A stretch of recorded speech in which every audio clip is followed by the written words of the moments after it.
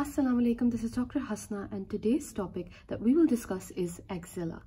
First, let's define what axilla is so that you know what it is. In layman terms, it is also called the armpit and it is defined as the space located between the upper part of the chest and your arm. Now, this is a pyramidal shaped space.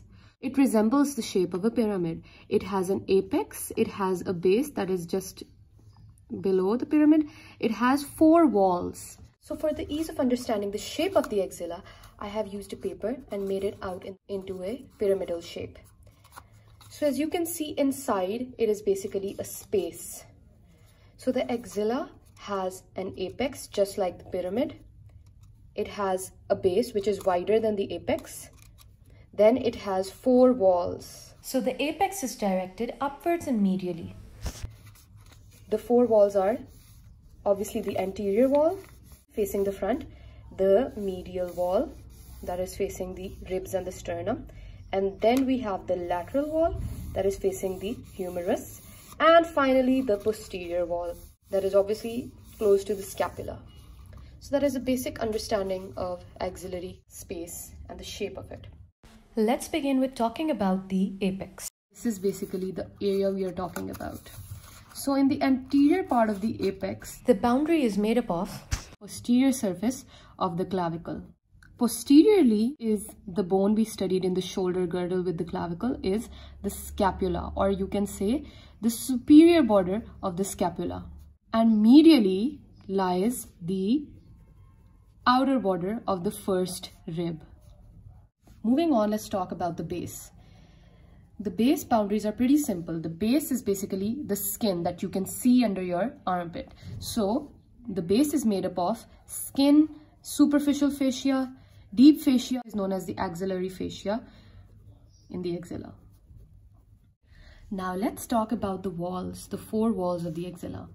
First we have the anterior wall. Boundaries of the anterior wall are the pect major muscle because that makes up most of the anterior chest wall and deep to that is the pect minor muscle and then the deep fascia of this area which is also known as the clavipectoral fascia which we will talk about in another video.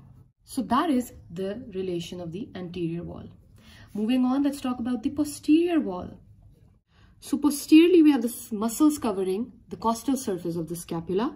And these muscles are the subscapularis and teres major and the latissimus dorsi that was passing from the inferior angle of the scapula. Let's move on and talk about the lateral wall. Lateral wall which is facing the humerus or the arm. So the lateral wall is obviously going to be made up of the muscles of humerus. So these are the coracobrachialis and short head of biceps. Moving on, the medial wall of the axilla is formed by the upper four ribs and the muscle that is attached to the ribs. This is known as the serratus anterior muscle. However, the upper part of this muscle as serratus anterior is originating from the first 1 to 8 ribs. So in the upper 4 ribs, only the upper part of the serratus anterior is seen. So this was all about the boundaries of the axilla. Moving on, let's talk about the contents of axilla. Well, it's pretty simple. Always remember that the first content in most of the places or the filling content is the fat. So axillary fat is one of the contents.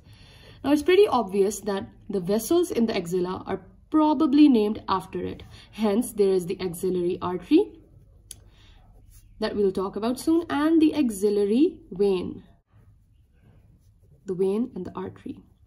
Apart from this, there is a nerve trunk kept in the axilla.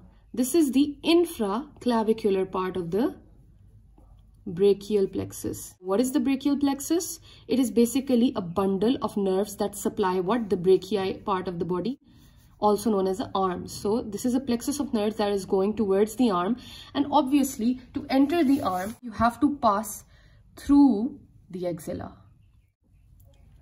So brachial plexus is a plexus of nerves that is going towards the arm and obviously to enter the arm it is necessary that it crosses the axilla. And number five, we have the axillary lymph nodes that we studied in the breast. And six, we have the long thoracic nerve This was the nerve that supplied the serratus anterior. Along with this, there is an another nerve called the intercostobrachial nerve. It also supplies the upper part of the arm. So that was all about the contents of axilla.